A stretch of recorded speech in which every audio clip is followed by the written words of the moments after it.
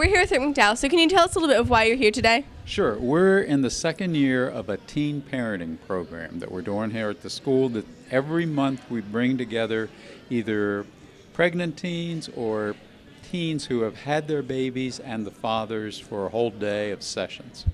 What are the activities that they're doing in the class today? Well, it depends on who we can get to volunteer. Everybody who's participating with the program is a volunteer from community agencies both in Lincoln County and outside the county. Uh, today we had somebody who came and talked about pregnancy and stages of pregnancy and birth, since we've got some pregnant teens in the classroom.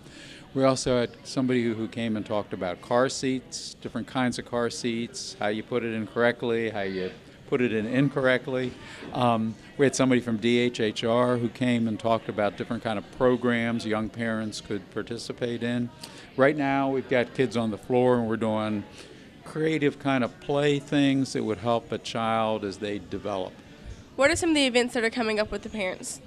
We'll be doing something again in October and again in November. Uh, in October, let me think if I can remember all this stuff. In October, we're going to be doing a thing about how you can communicate with the partner in the relationship, you know, because sometimes we've got the mom and the baby living with her parents, and we got the dad living with his parents, and there can be issues about how you make decisions about the baby, so we'll be doing something about that.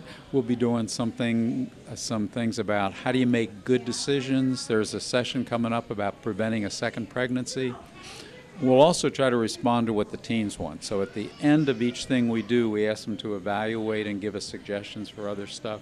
So what they suggest will sort of drive what we bring in for the next time. Okay, thank you for volunteering. You're welcome.